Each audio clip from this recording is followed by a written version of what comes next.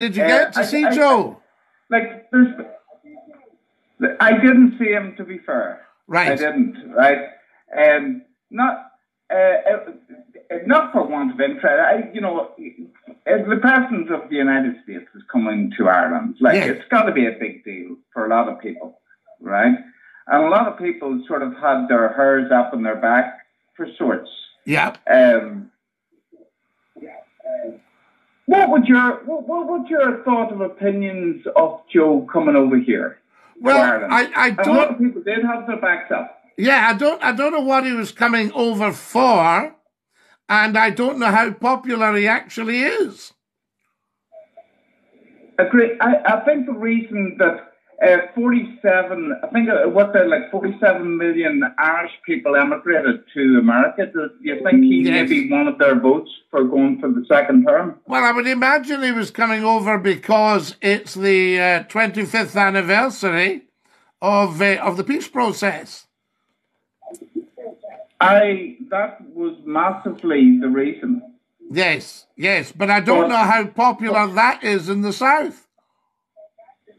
I don't mean the Well, peace well, process. I mean, well, I mean him coming I, over. I, I, know all Ireland and all politics and all. Let's get away from Ireland for a wee second, right? yeah. Do you, do you think that he would be capable of running for having another term in office No. in America? I don't know whether. I, I, I think he's struggling with this one. I think if the Americans have any sense at all, their next president will be Donald Trump again.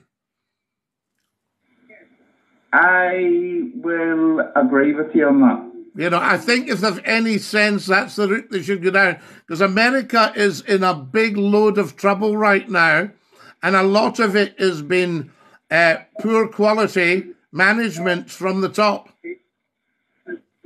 And when Trump was there, they had no war, they could afford power, gas, the dollar had some value, etc., etc.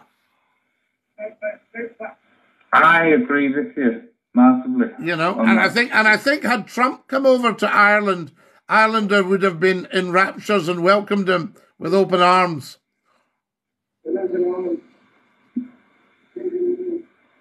Mikey, you. You're an absolute. Do you know what? You're a very, very smart man.